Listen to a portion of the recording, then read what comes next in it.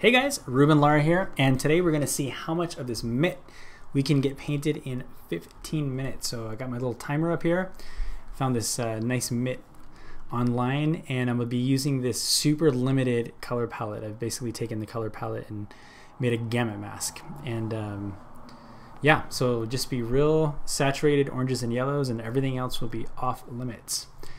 Okay, so let me just take a quick look at our basic colors here. We got a nice kind of rawhide. We've got some reds in the laces and a little bit of that blue. And I'm going to fill in this, um, this missing piece in the painting as well.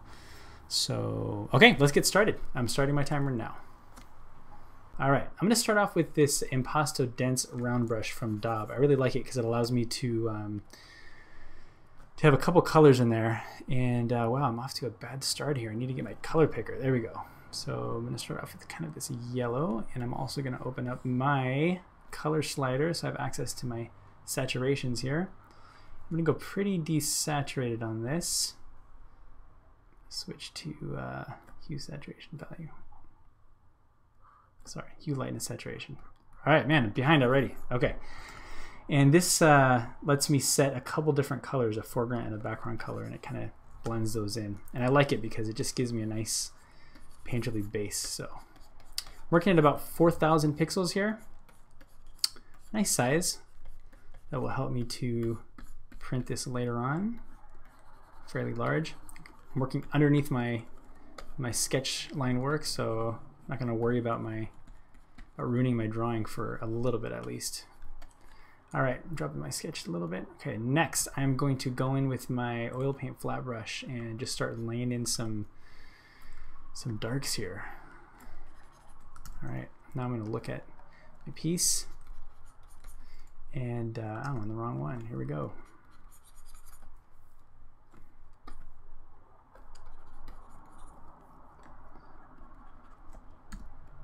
Jump up to 100% there.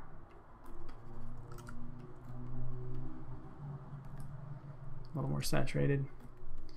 Okay. Maybe something like that.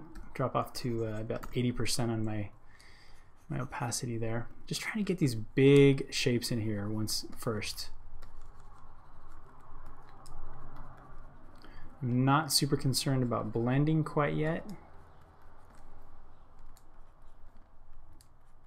I'm just to drop to about 60% here just so I can get a little bit of that uh, texture that I just laid down in there.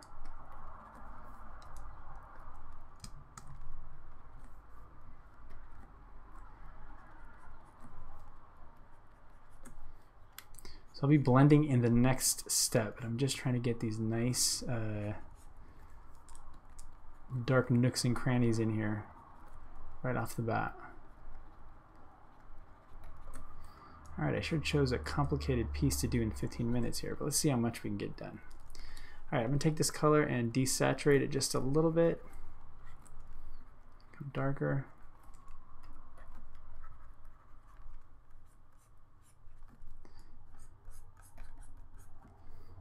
darker. bump up to a little bit fuller screen here.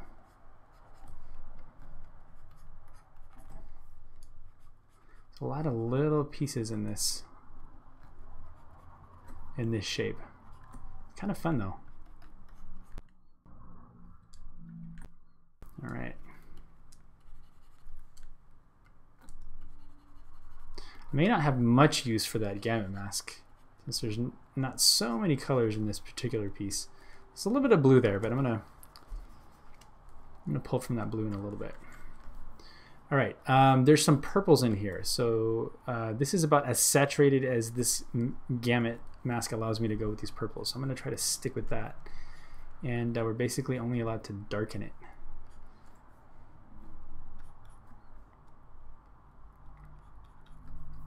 It just keeps us within a limited color palette.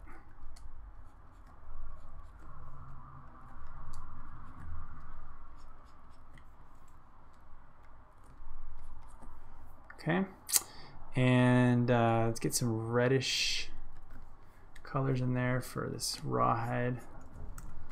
Lighten that, darken that, I mean. It's not too far from that purple. It's a little more red. Maybe a little more orange.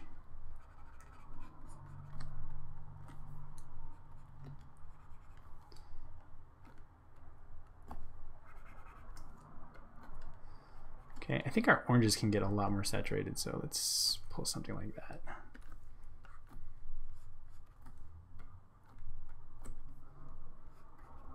Still don't have to uh, do full saturation on those. It's just just lets me know the maximum saturation.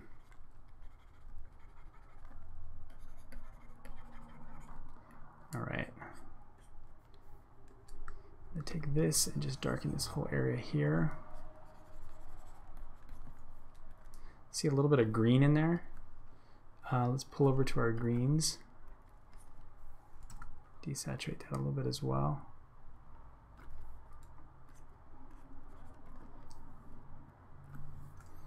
Go down to 30%, and just kind of tint that a little bit. And I kind of want to tint this a little bit in there. Okay, yeah, we've got a good amount of color in there.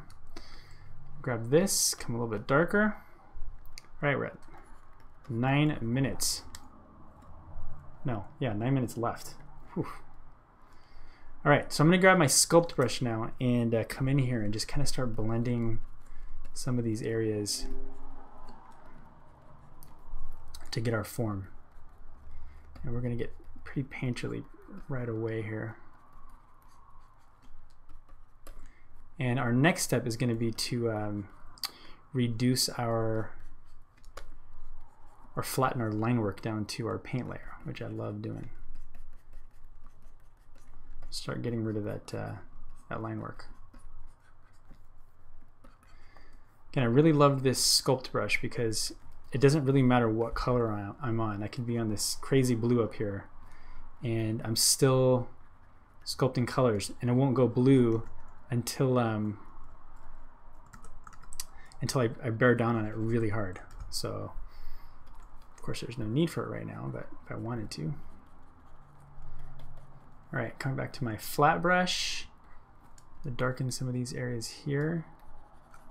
Come up to about 80%, about 70.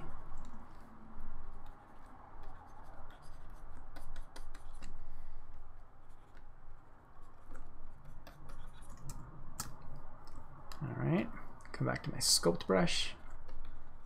Just looking for the big uh, light and dark forms here first this first pass. And if I get this uh, darker color on my sculpt brush again, I can get nice and small here and I can bear down, add some of that color and just kind of sculpt it out. I always have it accessible when I need it if I'm on that color. Bearing down hard now. Okay, now I'm going lightly and I'm sculpting out.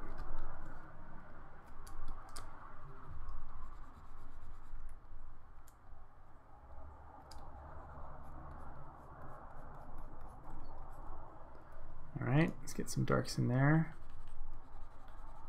I'm sculpting out again with the same brush. And okay, three minute three minutes down so far. I think what I want to do is um, before flattening my my art there, I'm going to go ahead and grab my impasto brush just kind of get a nice light color there, grab my background. A little bit of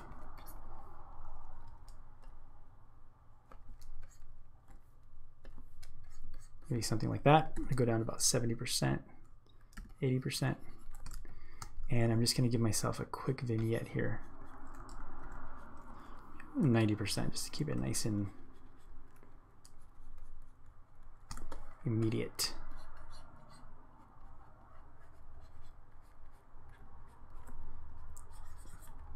And I'm just working on one layer, can always come back and, and repaint.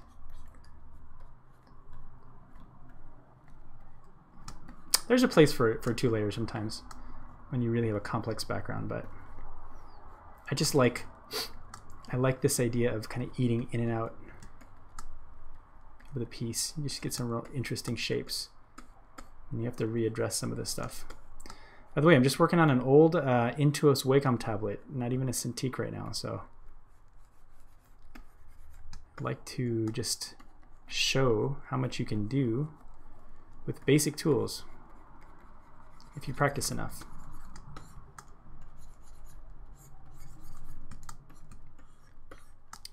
All right.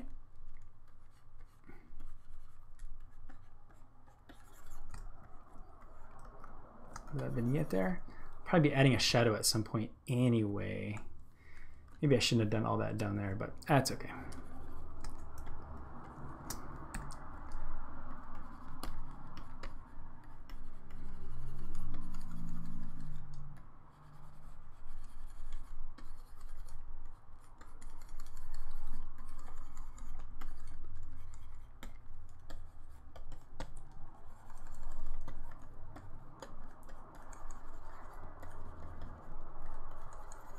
It's always helpful to get that uh, vignette color in at the right moment. It really just changes so much about, um, you know, the contrast in your piece. Kind of gets you into that zone fairly quickly. Good. Uh, I'm going to save this so don't lose it. Ah, four minutes left. All right, let's see what we can do in four minutes. All right, I'm gonna start taking these colors. I'm gonna duplicate the sketch so I have it accessible to me. I'm going to combine those, turn off the sketch, and now pop in here and let's just start putting in some uh, some nice little highlights here. Now when, when light starts getting brighter, it does get brighter, but it also desaturates a little bit. So brighter and less saturated.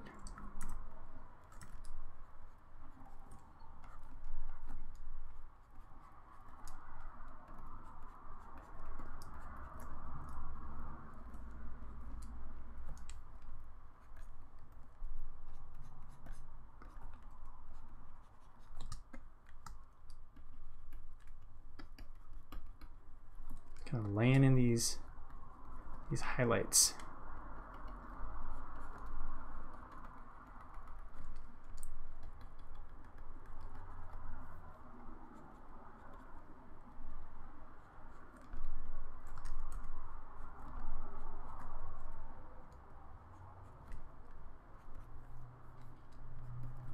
Come a little grayer down here.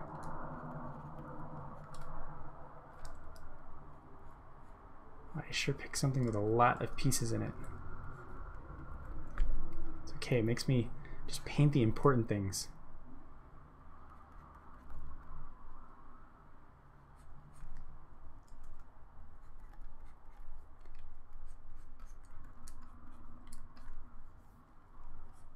I really love how mixy this uh, oil paint flat brush is. I'm using I'm using a, a cat's tongue, which is a, just a modified version of of the normal oil paint flat brush. I, it's one I made just so I can have tapered edges on that. All right. All right, we can do it. Two minutes. Let's see how much I can get done on this in two minutes. Wow, this time limit really forces me to just get the important parts in here. So I picked a local color there.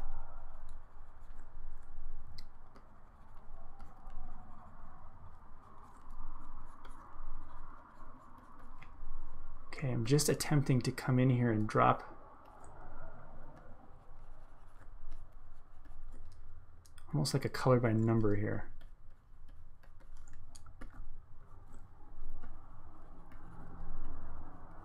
Because in my last minute and 30 seconds, I want to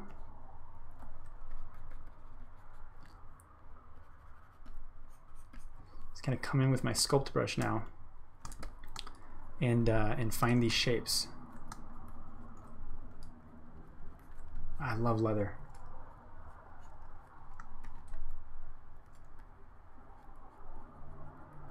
Again, I just kind of pulled that low, just uh, bared down a little bit, and then added just a little more of that brightness.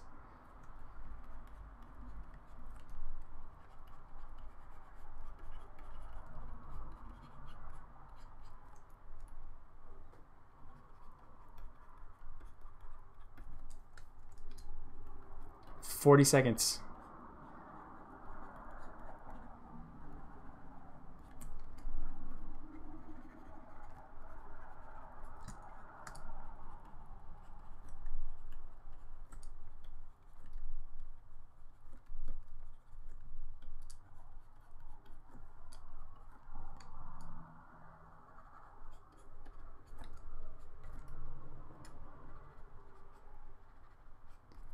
Again, I'm just kind of laying in those highlights with the sculpt brush and then blending it out.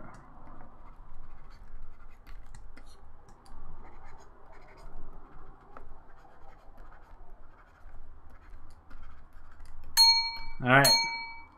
Thank you. Timer complete. Okay. Not bad for uh, 15 minutes. Of course, that's minus uh, the drawing time. But yeah, I guess what we can, what I really wanted to show here is, is when you have this limited uh, time, it really forces you to go in and just address the big forms, the important shapes. And as you can see, um, look how much I got done just by dropping in pretty immediate opaque color with the oil paint flat brush and the cat's tongue brush. And then I used my sculpt brush to go ahead and, and just you know move the move those colors around to create some of uh, some of the forms and shapes. That's what I'm. That's my main goal at the beginning. Establish planes get forms, get the right lighting, um, and then we can start going in with our details. So as I look at it, um, probably I was a little too, maybe I was to say I'm too aggressive with this light, but actually I want to bring up the light in this area a little more because we want to see, we want to get that whole major plane of the light, you know, big broad um, splash of light is coming across uh, this member here onto the onto the thumb. So I want to make sure I, I express that a little more as I as I move forward. Of course, a lot of darks to put in, um, and as I start noodling away on um, on the threads and all the little pieces of leather, it'll it'll really come together. Not bad though for 15 minutes, and I think maybe just a little more, and it's it could be just about done. We'll see how far I get on it. Hey guys, future Reuben here, and I've now finished this painting, and here's what it looks like. I've only spent a little over an hour more on this, but you can see how much we can get done once we have a solid underpainting to work with. If you want to peek over my shoulder and see that in real time, head on over to my Gumroad store where you can grab both the process video and the layered Clip Studio paint file to pick apart. And if you're interested in just purchasing this high-res piece of art for your own personal use, it's now part of ArtBag 02, which also includes a bunch of other fun pieces from the last few months. Well, happy painting, keep on learning, and we'll see you on the next round.